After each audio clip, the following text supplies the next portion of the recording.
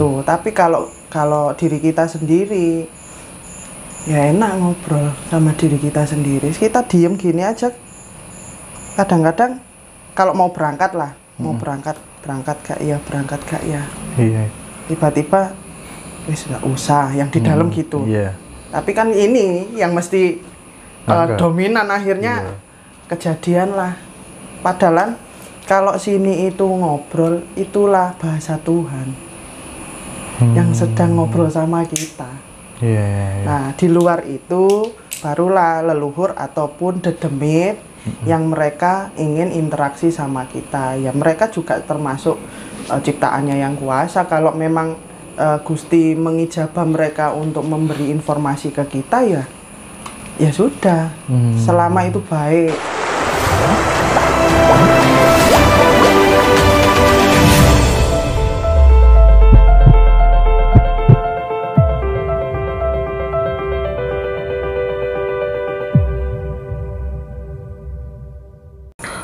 supaya kemudian tidak nitis lagi atau tidak reinkarnasi lagi gitu ya. Nah, Tuhan itu sebenarnya maunya terhadap manusia. ya.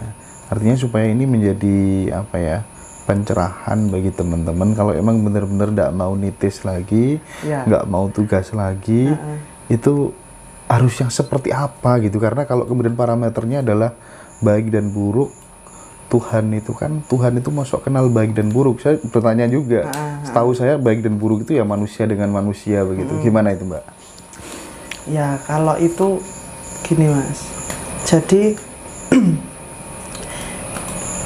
yang yang yang bisa jadi uh, ukuran memang memang kita sendiri gitu kan. Ya memang kalau kita ngomong soal manusia memang tahulah baik dan buruk gitu. Terus karma baik dan buruk atau dosa atau enggak kan gitu sih.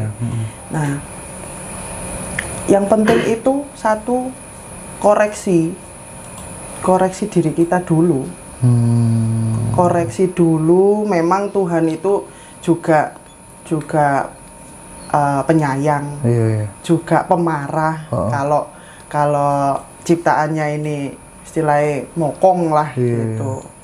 Nah, kalau tahu kalau tahu sifat Tuhan yang seperti itu kita ya sadar bahwa sifat kita juga eh, memiliki sifat eh, marah gitu. Hmm. Cuman tinggal gini koreksi lagi. Koreksi Iya, lagi iya, iya, diri iya. kita sampai benar-benar eh, baik. Orang baik ini gini, Mas. Memang kan nggak bisa nggak bisa kita lihat diri kita sendiri Iya. kadang kan. Kita udah baik apa belum malah oke. nanti kalau baik malah eh, kesannya kok arek iki kok golek rai ngono kadang malahan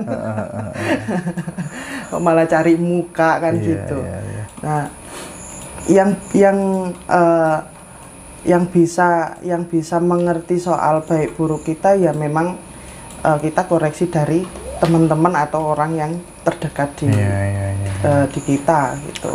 Iya, ini berdasarkan pengalaman spiritualnya di Ajeng barangkali ya. Terkadang saya mikir juga nih, andai kata Tuhan tidak bikin jagat raya seisinya, termasuk ciptakan tumbuh-tumbuhan, ciptakan manusia, ini kan nggak ada problem sebenarnya, nggak ada problem. Terus kemudian Tuhan eh, bersodakoh ini ceritanya, membuat alam, membuat jagat raya, membuat manusia.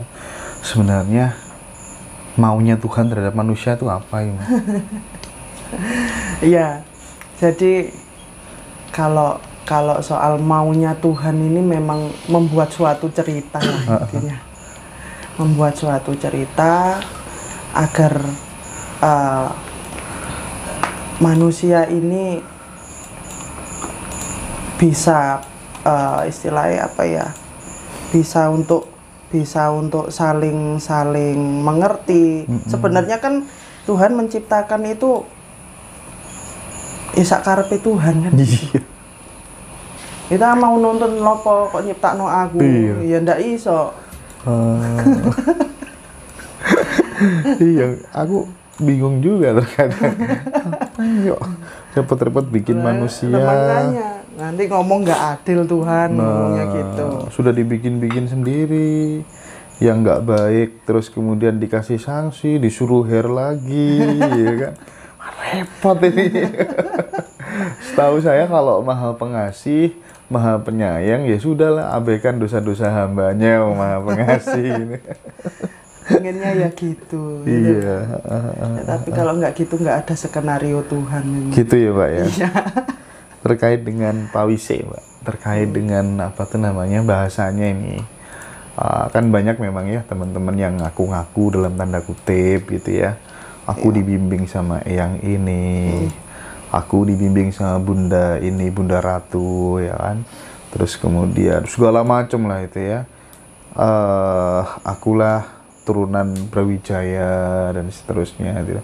bagaimana dengan memandang hal-hal seperti itu Saya ngomong sih itu lumrah. kalau nggak ada itu ya nggak ada cerita gitu. Ya memang saya anggap ya ketoprak gitu aja. oh gitu ya Iya. Ya ludruk gitu Oh, itu haknya haknya dia ya. Iya. Haknya Yes, dia. wis terserah gitu. Cuman nanti yang eh, yang penting yang penting itu lakumu terus habis itu dharmamu terus tanggung jawabmu sama yang kuasa kayak gimana udah kalau mereka ngomong raja ya ya udah eh, jadilah raja untuk dirimu sendiri dulu Oh gitu. Mm-mm. nah sekarang mau jadi raja juga sekarang udah ada presiden Hmm. iya ya. Kalau di dalam proses semedi atau meditasi gitu mbak, biasanya kan kita ketemu yang namanya ilusi-ilusi, ketemu yang namanya suara-suara tak berupa begitu kan ya. Dan terkadang kemudian justru di situlah eh kita merasa bahwa segala sesuatu apa tuh namanya Sih, aku tak bilang eyangku dulu dan lain sebagainya begitu kan banyak yang seperti itu. Nah, hal-hal semacam itu nih kalau di dalam apa eh, nilai-nilai spiritual kejawaan kan sebenarnya se- eh, sing ono kuwi sejatine dudu sing ra ono kuwi sejatine sing ono. Saya pernah dengar seperti itu gitu ya. Tapi kemudian kita malah ter apa ya? terbius dengan suara-suara ya tam, penampakan-penampakan bagaimana memandang seperti itu memandang spiritual secara independen itu seperti apa Ya. Yang pertama itu harus eh, itu itu tadi saya ngomong soal mengenal diri sendiri dulu. Karena kadang bisikan itu malah ternyata di sini. Heeh. Sedulur kita yang ada di dalam. iya iya iya Nah, kalau memang eh, eyang ini interaksi, Mm-mm. itu pun ada eh, siluet yaitu siluet atau perwujudan. siluet itu apa sih? Siluet itu seperti partikel yang nggak kelihatan nah kayak kayak apa ya kayak awan gumpalan awan kayak gitu. Oh, iya iya. Kayak asap lah. Oke oke. Cuman dia ada suaranya. Oh. terus juga ada cahayanya di situ. Mm-mm, mm-mm. ya kalau eh, soal pawise dari eyang kan ini ya banyak yang sekarang ini saya dapat dapat sanepan dari eyang gini soal eh, kehidupan Mm-mm. ataupun soal eh, apa bencana alam kayak gitu. Cuman kadang-kadang itu mereka yang dapat bisikan malah ndak tanya soal ke depannya mereka kayak gimana. Malah diem. Hmm. Jadi eyang ini eyang ini memang ada yang nuntun, ada juga eyang yang eh, kita ngomong eh, apa eh, goib yang yang dibawa lah. Saya ngomong eyang karena apa mereka kan hidup dulu iya iya leluhur ya sebelum sebelum kita. Goib yang di eh, dibawanya leluhur. Umpama seperti macan yang kadang kadang orang ngomong bentuknya macan, bentuknya ular, bentuknya naga. Nah, itu malah dibawa leluhur. Kalau leluhur dia nggak akan mewujudkan diri sep- eh, seperti itu. Mm-mm. Itu. Yang ada itu malah eh, beliaunya itu mewujudkan diri itu ada yang wajahnya itu samar, Iya. ada yang hanya cahaya terus setelah itu ada juga yang dia nggak eh, nggak kelihatan tapi cahayanya itu kalau kita lihat malah sampai sampai benar-benar apa ya silau Iya, iya, iya. iya. gitu Saya beberapa kali ketemu sama seseorang yang dibimbing, mengaku dibimbing sama eyang-eyangnya begitu kan ya. Nah, untuk membedakan suara dari eyang yang mereka maksud dengan suara dari guru sejati yang ada dalam diri itu apa? gini kalau eyang yang ngomong Iya. atau goib yang ngomong itu biasanya di telinga itu seperti radio Mm-mm. yang Iya, iya, iya, Nah, iya. terus setelah itu ada bunyi itu biasanya itu ada yang mau ngomong Oh. terus setelah itu baru kedap kedap udara jadi seperti di bioskop lah. Belum gitu kan. Nah setelah itu baru ada satu kata biasanya nggak langsung jabarkan panjang itu ndak malah kalau leluhur itu malah dia eh, lebih ke teka-teki yang kita harus malah ngupas. Hmm. umpama gini awas gitu kan. Itu ngomong awas itu aja lama kok. Oh. awas nah ya gitu. Nanti ada daun jatuh. Nah, itu kan sanepan. Iya, iya, iya. ya kita yang harus ngupas. Hmm. itu. Tapi kalau kalau diri kita sendiri ya enak ngobrol sama diri kita sendiri. Kita diem gini aja. Kadang-kadang kalau mau berangkat lah. Mau berangkat berangkat gak ya berangkat gak ya. Iya. tiba-tiba wis nggak usah yang di dalam gitu. Iya. tapi kan ini yang mesti uh, dominan akhirnya Iya. Kejadian lah. Padahal kalau sini itu ngobrol itulah bahasa Tuhan yang sedang ngobrol sama kita. Iya, iya, iya. nah di luar itu barulah leluhur ataupun dedemit yang mereka ingin interaksi sama kita. Ya mereka juga termasuk uh, ciptaannya yang kuasa. Kalau memang uh, Gusti mengijabah mereka untuk memberi informasi ke kita ya ya sudah. Hmm. selama itu baik udah itu aja. Kalau Iya. disuruhnya jelek ya jangan jangan dilakukan lah gitu. Iya, iya. Ketika Eyang memberikan sanepan gitu ya Mbak, namanya Eyang itu kan biasanya kan penuh kasih, penuh sayang kepada cucu-cucunya begitu ya. Ibaratnya ketika kemudian Eyang itu udah naik di sebuah puncak gunung begitu, terus kemudian melihat sebuah bunga mekar yang sangat indah, ya kan? Kan dia cukup bilang, oh ini loh Nduk, kau nek pengen ngerti bunga yang paling indah ini loh bentuknya. Ya. Nggak cuman sekedar nek yang bener-bener sayang lah ya. Nah, kowe kudu munggah rono oh, cukup memperlihatkan gitu aja kan kalau sayang kan. Oh ini loh Nduk, nggak perlu masuk cucunya kenapa ya? Yang kok harus memberikan sanepan kan tidak semua cucu kemudian bisa menangkap seperti itu. Ya. Ya memang eh nah, yang kita dulu kan juga jalannya ya soro Mm-mm. gitu. Kita kan hanya tinggal melanjutkan.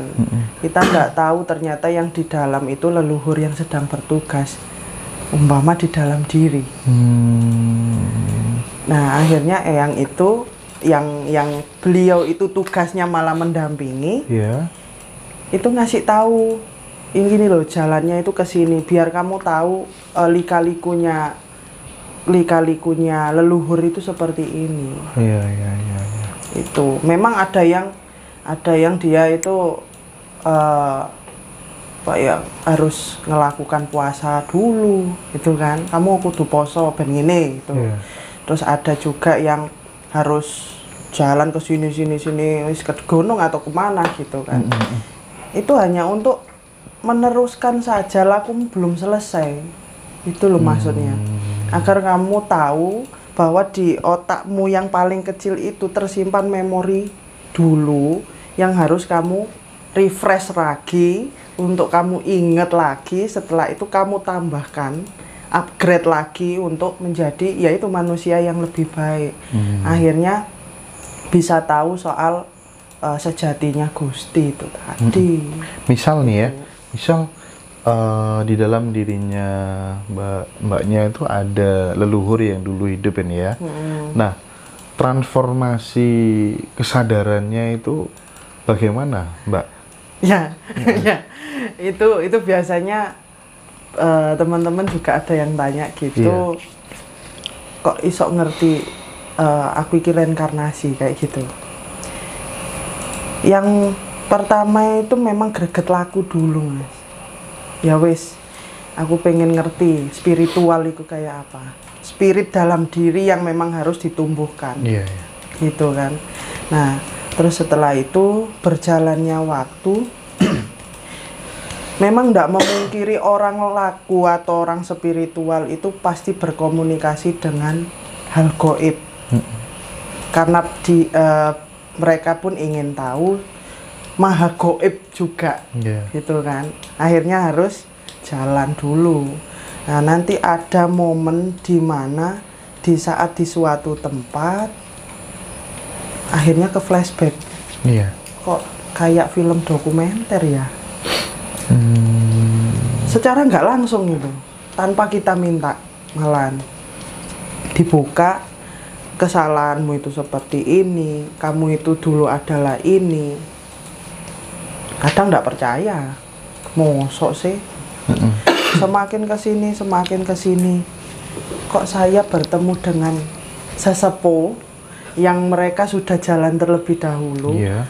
tiba-tiba sesepuh itu bilang gini aku kok keroso sampean ini wong penting. Mm-mm. siapa sampean gitu? Mm-mm. karena kan eh, rahasia Tuhan di saat manusia itu reinkarnasi lagi kan ditutup rapi banget rapi banget sampai orang itu hanya orang-orang tertentu yang bisa melihat karena mereka sudah dekat banget sama Gusti Oh. Nah, terus eh, dari perjalanan itu akhirnya tahu, oh sejatinya aku ikin di iki. Saya dulu pernah hidup di sini. Ya udah, kesalahan apa dulu yang pernah saya perbuat? Mm-mm. Itu wujud konkret lakunya apa Mbak untuk mengetahui siapa kita di kehidupan sebelumnya gitu? Laku leluhur.